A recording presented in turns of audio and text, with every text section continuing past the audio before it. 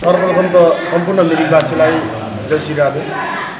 र गत वर्ष चाहिँ यस वर्ष पनि हामीले कृष्ण मन्दिर कृष्णनगर मिरिकमा महायज्ञको आयोजना गरिरहेको छौँ।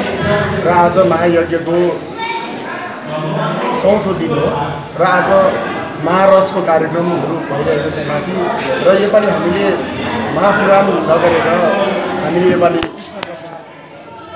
गर्ने अवसर गरेको र अहिले हाम्रो कृष्ण कथा चलिरहेको छ र आज हाम्रो महारसको कार्यक्रम भइरहेको छ र सम्पूर्ण भक्तजनहरूलाई उपस्थित भएर सहभागिता गर्ने हामी आह्वान गर्छौँ र भोलिको कार्यक्रम हाम्रो के छ भने रूपनी क्रिया हुनेछ र यसमा हामीले अ, रथ यात्रा पनि नगर परिक्रमा गराउनेछौँ र यस न- रथ यात्रा परिक्रमा गराउनुको मुख्य उद्देश्य हाम्रो कृष्ण मन्दिर पहिला उन्नाइस सय बयालिस सालमा स्थापित हुँदाखेरि त्यति बेला पनि कृष्ण मन्दिरबाट रथ यात्रा निकालिने गर्थ्यो जन्माष्टमीको अवसरमा।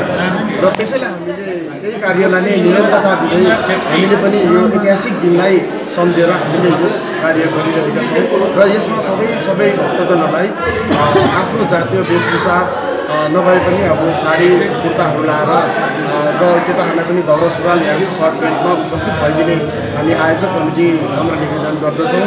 र हाम्रो पर्सिको प्रोग्राम चाहिँ दुई तारिक जन्माष्टमी भएकोले गर्दाखेरि दुई तारिक हाम्रो बिहानदेखिको राति बाह्र बजेर बिससम्म साढे बाह्रसम्म हाम्रो प्रोग्राम चल्नेछ।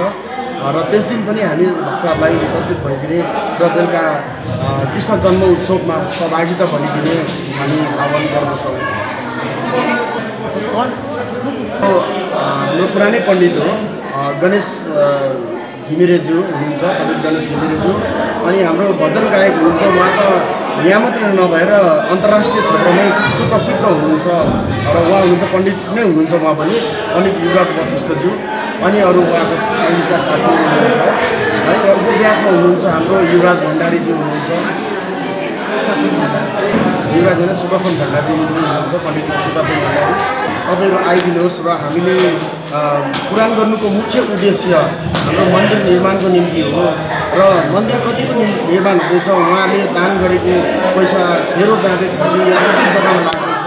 र उहाँहरू आएर यसो निरीक्षण गरेर उहाँको सुझाउहरू हामीलाई के कस्तो छ के गर्नुपर्ने उहाँले पनि हामीलाई सुझाउ राखिदियो भने कति उत्तम हुने थियो हामी यही आशा साथै छु भक्तहरूबाट कि उहाँहरू आएर हामीलाई सुझाउहरू दियोस् भन्ने। र हामीले हामीसँग जोगाजोग राखोस् कि उहाँले दिएको दानले सठिक काम हुँदैछ कि छैन भन्ने उहाँले पनि सोधपोछ गरोस् भन्ने चाहन्छु। र यति भन्दै सुरु सत्ताइस अगस्तदेखिको तिन तारिक सेप्टेम्बरसम्म तिन तारिक चाहिँ हाम्रो पूर्ण अवधिको कार्यक्रम छ।